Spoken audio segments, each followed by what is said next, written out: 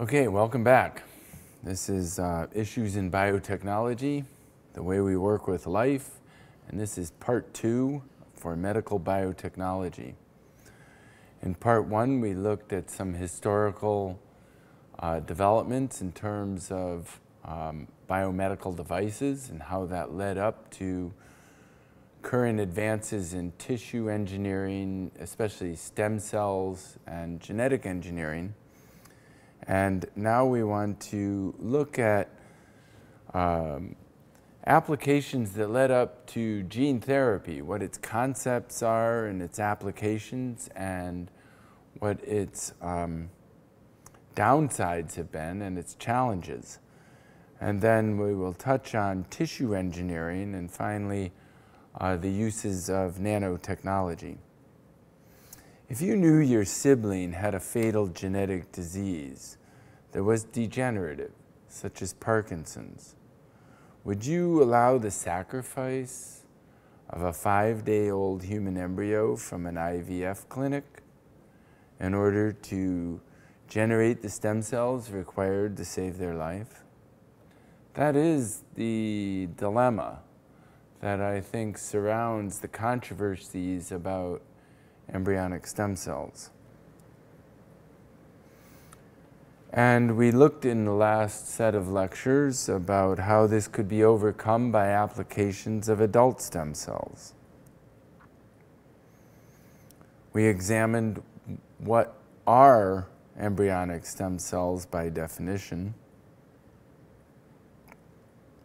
and the history behind the development and therapeutic applications of adult stem cells, including that they've been used to treat leukemia for many years.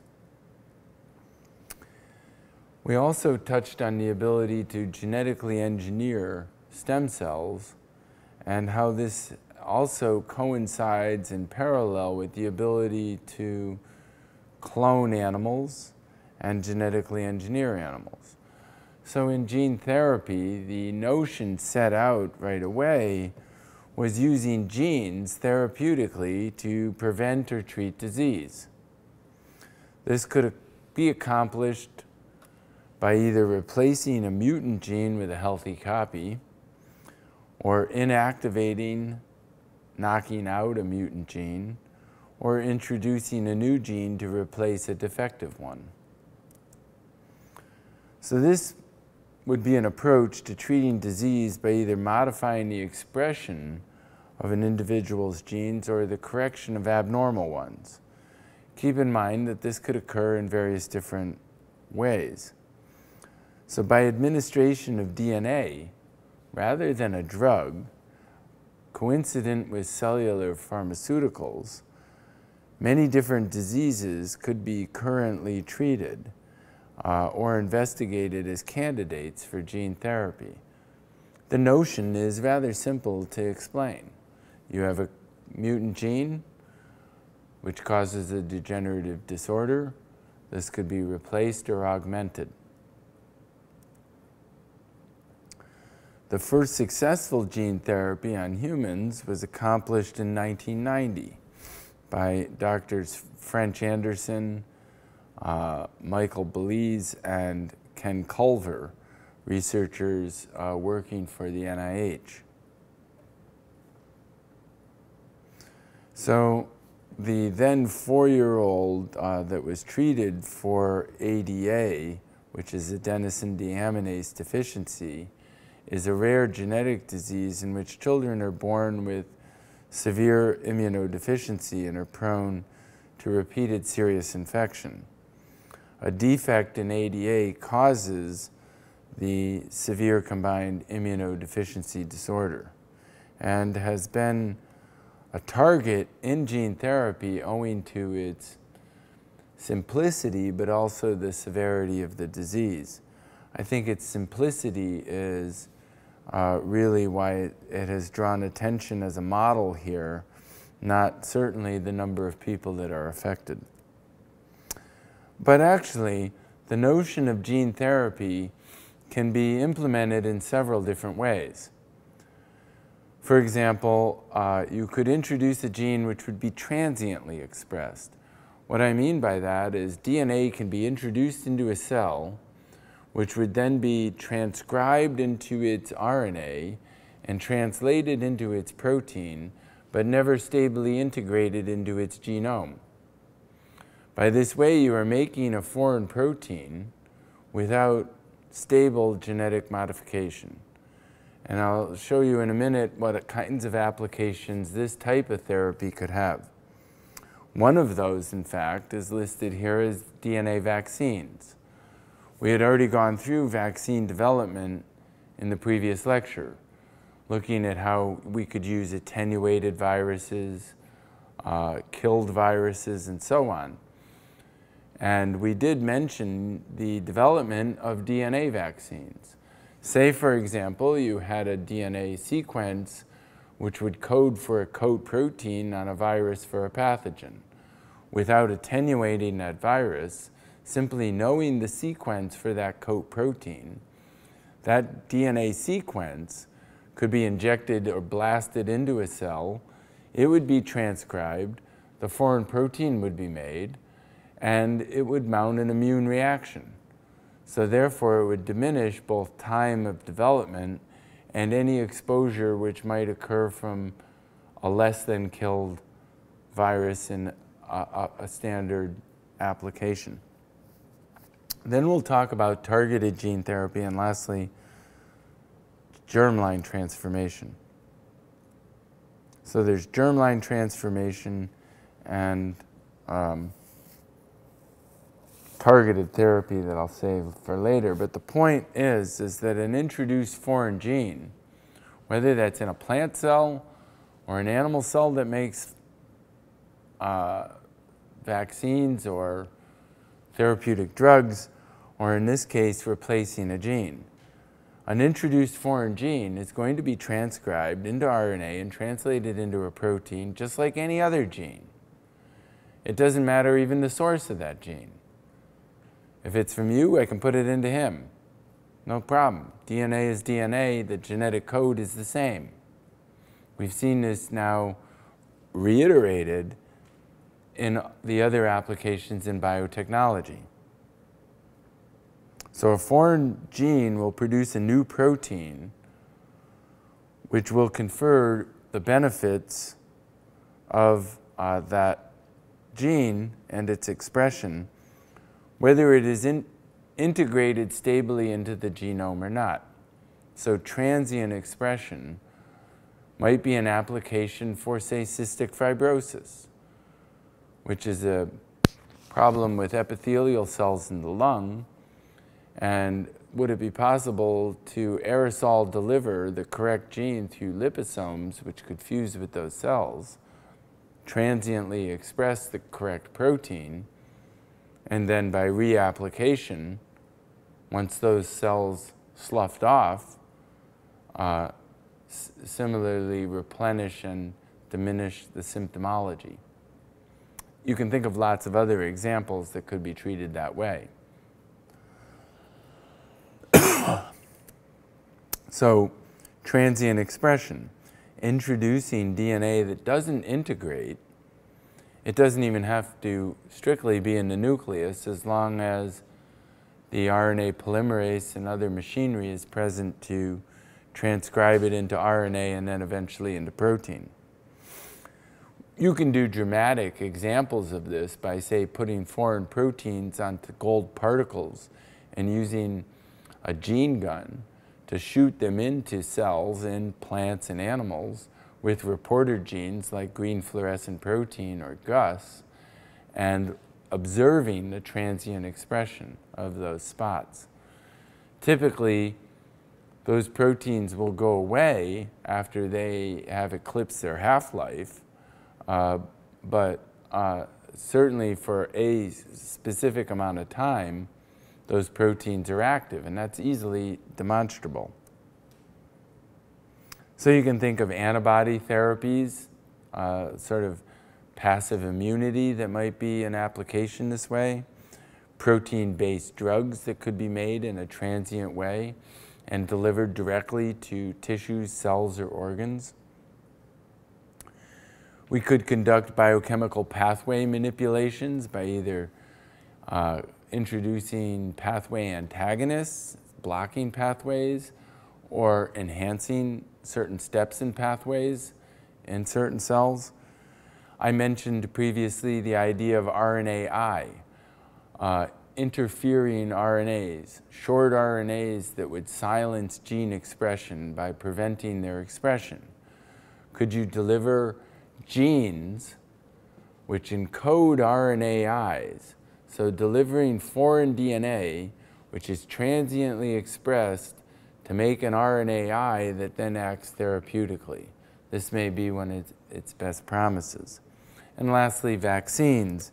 As I've already described, you could make a DNA against a protein for a pathogen as an antigen that would mount an immune response and then function as a vaccine in a lasting memory. Okay, targeted gene therapy. The idea being that there might be a deficient gene uh, or a defective mutant gene that you could replace. So to reverse disease caused by genetic damage, whether that's inherited genetic damage or induced genetic damage, uh, researchers could isolate normal DNA, package it into some vector that would deliver that payload into its target cell. And um, typically these vectors are made or designed from disabled viruses. I had brought up the example previously that a disabled HIV vector might be the best approach to targeting T cells. HIV sees T cells. Maybe we could disable HIV to put in a suicide agent that would cure HIV. This is not a bad idea. And there are groups that are researching that as well as using other types of viruses that could be disabled that would target specific cell types. So a vector where its genes now have been deleted and implanted in the middle of that is the gene of interest in which you want to use as a payload to delivery. So it's a cell-specific delivery agent. How does gene therapy work? Well, the introduction of a sequence of DNA into cells could be used to compensate for abnormal genes to make a beneficial protein. It could be done by naked DNA delivery, liposomes for cystic fibrosis, or shooting naked DNA on particles by the gene gun, viral vectors or non-carrier systems that are non-viral, such as liposomes, uh, bubbles of lipid that would fuse with the membrane to deliver its payload. So foreign DNA could be delivered in vivo uh, or to patient cells ex vivo and those cells could be implanted, and we already went over that sort of application for stem cells. But the idea is diagrammed here, where the red gene uh, is defective in its nucleus, and you could, by gene addition, add a gene that in the upper one is integrated stably and perhaps under the direction of another promoter, uh, whereas the other one demonstrates uh, transient expression. So it's not stably integrated. So you might ask at this point, Dr. Kausch, that seems so simple. Why aren't we just doing this all over the place? If in the 1990s this was first demonstrated, and there was such enthusiasm when this just first happened, we could be curing diseases all over the place. Type 1 diabetes was on the doorstep. I mean, lots of other things. What's been the hangup? And certainly there have been a lot of them. Um, notably, treatments for um, SCID. Trial went wrong and a patient died, largely due to viral overload, I think is the explanation. Dosage, delivery, accuracy, um, direction of integration of that gene. It turns out that these are all flies in the ointment that still need to be worked out. Theoretically, I believe that uh, the approach is sound. So um, again, this might be a matter of elbow grease. I don't think gene therapy is off the table. Vectors for gene therapy are continually being developed. Um, so adenoviruses, adeno-associated viruses, and so on are being engineered uh, to deliver foreign DNA. So these kinds of vectors could be developed that may see cancer cells specifically. And this might be a way to deliver suicide genetic elements uh, that would inhibit RNA, dissolve RNA like RNases, uh, or RNA inhibiting factors like RNAi. So viruses then could be the ultimate gene delivery agent, and you can actually imagine that we could genetically modify viruses specifically to be cell specific, recognizing specific uh, epitopes on cells and receptors that um, would result in delivery specific, cell specifically. So here are some candidate genetic diseases for gene therapy. I already mentioned uh, the defect caused by ADA, but hemophilia, uh, cystic fibrosis, uh, MS, uh, all of these are uh, single genes that could be targeted.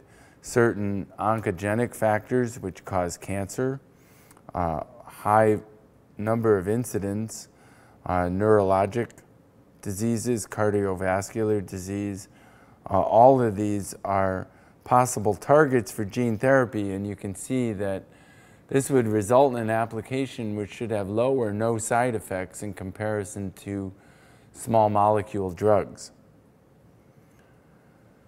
Doug Melton, as I already mentioned from Harvard, is, uh, and his group have achieved uh, what many have long considered an impossibility and used differentiation of one cell type into another in an approach for cell-specific gene therapy coupled with stem cells.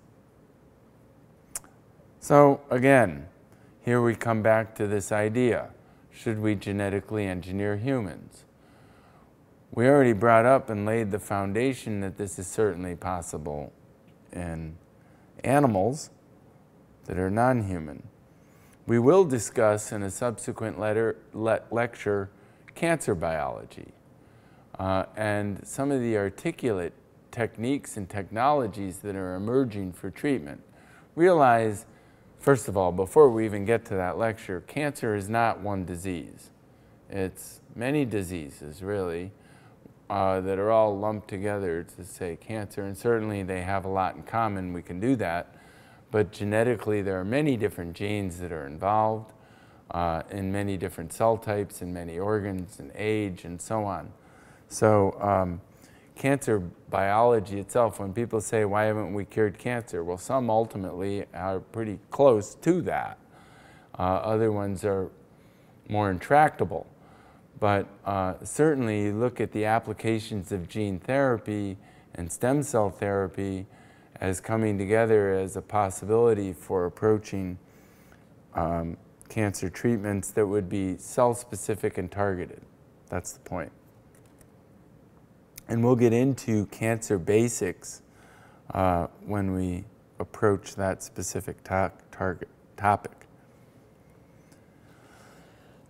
so ultimately, the promise of gene therapy is directed towards these cell-specific um, carriers.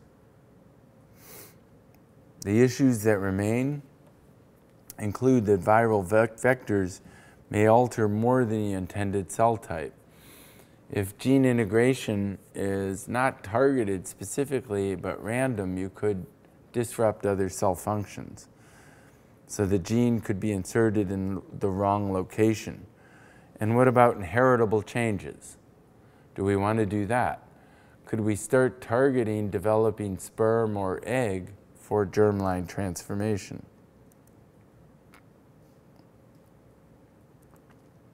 So, what are the ethical arguments um, for this and for stem cell research? Uh, these haven't really gone away since the Bush administration banned federal funding on stem cells in August of 2001. And they're laid out here in this slide uh, on the National Bioethics Advisory Commission already many years old, but still, I think, with us now. On the good side, life saving potential. On the bad side, um, the value of a human embryo or human cells. Ultimately, though, I think that as these treatments, however controversial, prove useful, uh, we or someone else in the world will apply them and this will hold true for virtually every controversial topic we will encounter in the applications of biotechnology. You think it's controversial? Somebody won't. If it's useful, they'll do it. And if they do it and you see that it's useful, you'll end up doing it too, or else they'll take advantage of that situation. That comes right from guns, germs, and steel.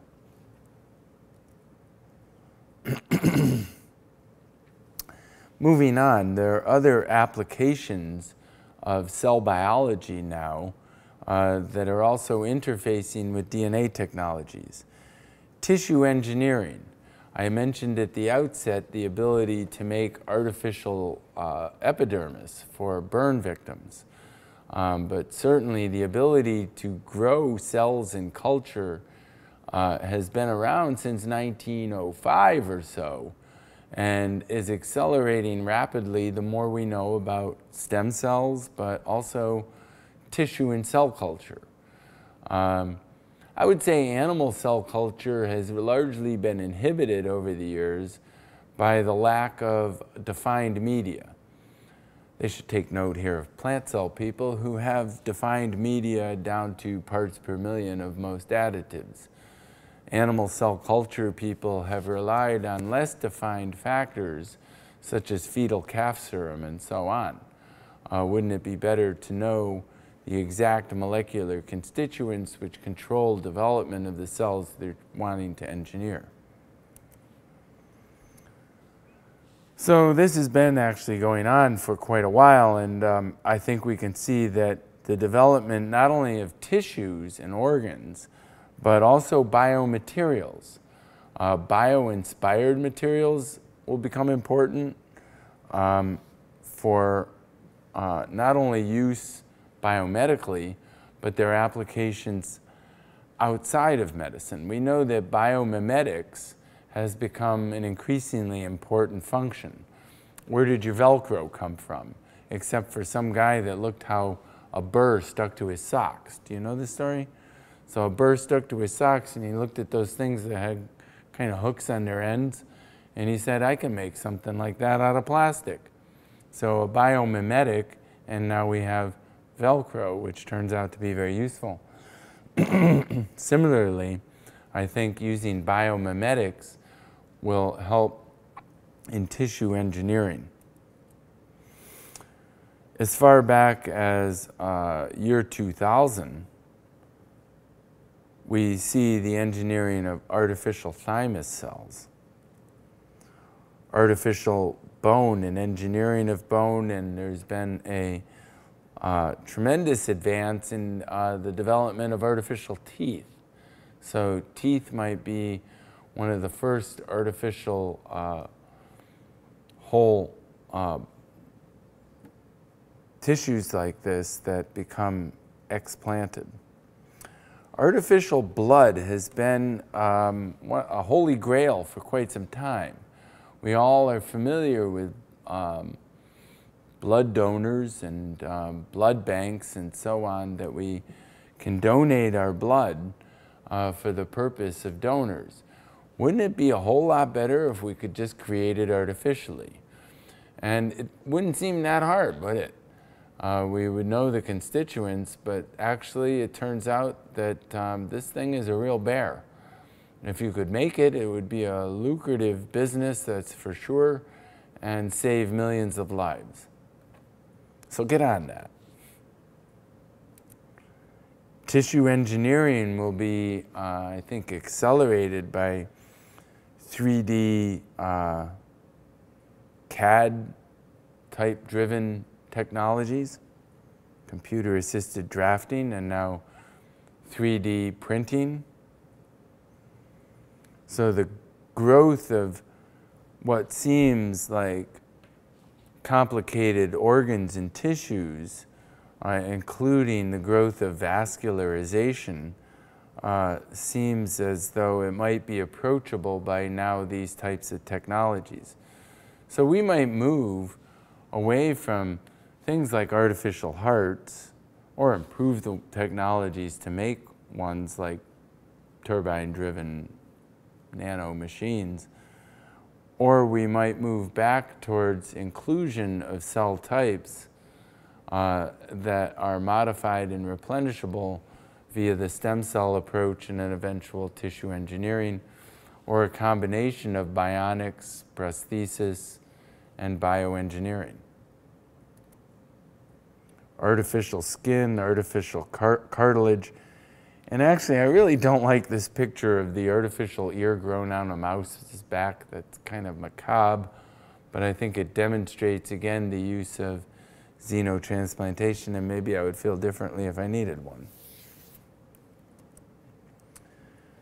in biomimetics, uh, looking at uh, compounds in other organisms uh, that have chemical constituents that might be useful for biomedical applications, such as the common skate egg case that you might find out on Narragansett Beach. Uh, your tendons have polymers which are very similar, and there are groups who've looked at these types of polymers for artificial tendons and the incorporation of stem cells into um, these cross-linked um, materials to make an artificial tendon. So what about xenotransplantation? I mentioned that the first application was a dog skull bone to a human skull. Well, that's pretty weird except for if you needed one, and we can only imagine what may have instigated that. Oh, you know, lost part of my head this afternoon. You think you might be able to do something about that? But again, organ donors, there's a long list uh, that people have to wait for, say, donation of a kidney. So if you had an ongoing replenishable non-human source, uh, this might be a good idea. So xenotransplantation then, uh, the science has been working to combat immunorejection of animal organisms by engineering out of cloned animals those proteins that are responsible uh, for recognition and then immunorejection by the human. So again, it's transgenics and animal cloning, which comes back to be an important tool for xenotransplantation. So wanted pig transplants that really work. Um, xenotransplantation has been around for a long time. I mentioned the experiment of baby Fae, where a baboon heart uh, beat in her as a transplant recipient for three weeks pig nerve cell fibers uh, may correct spinal cord injuries someday if organ transplant immunorejection can be overcome, or a humanized pig via genetic engineering. So that was the accomplishment of the first clone pigs was towards xenotransplantation. So since then, and that was year 2002, we have seen the continuous advancement of humanized pigs. Doesn't that sound weird even to say? You said sometimes that this class uh, evokes uh, notions of science fiction, but to even use that phrase. Uh, but you can look this up. There are humanized pig cell lines. This is um, not even that remarkable anymore. So we can expect advances in xenotransplantation driven by its need. So, and again, this comes from the uh, Russian aristocrat who tried this many years ago. So, lastly, um, nanotechnology.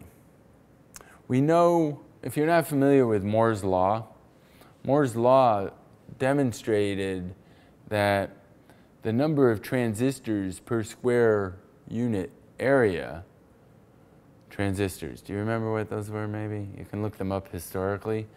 But uh, would reduce in size exponentially. And we've seen this with the application of computers. Computing technology has reduced transistors to microchips and processors, and the size keeps getting smaller and smaller, and this is exponential. So we can anticipate likely that nano-sized uh, computers will be carriers in our bloodstream. Ray Kurzweil gave a great lecture in the honors colloquium for the University of Rhode Island last fall, and I think it'll be posted on my website soon. I encourage you to see it or see him anytime you can. You know, he invented lots of other stuff, including uh, voice recognition software, artificial um, instruments that were really cool. Lots, oh, the list is long. So he has, I think, reasonable credibility to suggest that uh, what will happen in the future is um, something to look forward to. Would we have, by this application, nano-sized 8 gig computers that are smaller than your blood cells? And think about that. The notion of being able to transmit my experience to you through either transfusion directly or some sort of other downloading. I mean, directly transfer human experience. Uh, it's, it's wild to think about. Or collectively, we all have access uh, to the Google mind, the hive mind. GPS, wherever you go, there you are. You know, um, right now, I think it's a great application that when I don't know where I'm going on my way to Hartford, that my car does, let alone my boat. And person to person streaming of information. Uh, health monitoring. When something goes wrong, um, a sensing situation could be invoked. So rather waiting for something obvious to go wrong, you know, cars have a an oil light. Typically, though, when your oil light comes on, it's already a bad scene. But nonetheless, uh, at least you know that, you know. And um, a temperature gauge is a little bit more appropriate, I think. But other nano devices uh, in development now, oxygen carriers, nano devices that can bind oxygen for slow release that exceed that of the red blood cell. So slow release oxygen would have applications like you could walk across the bottom of a lake without uh, an external oxygen source, climb Mount Everest jet fighter applications, win the Tour de France nine times or more without EPO. You know, these are all things we could ascribe to maybe in the future. Nano-sized cellular replacements, cyber people, a combination of human and non-human. Or when does it all become biologically replaceable except for the human mind?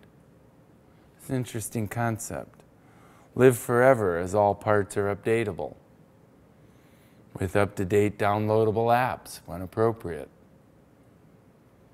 Pass all acquired information on to selected friends and relatives.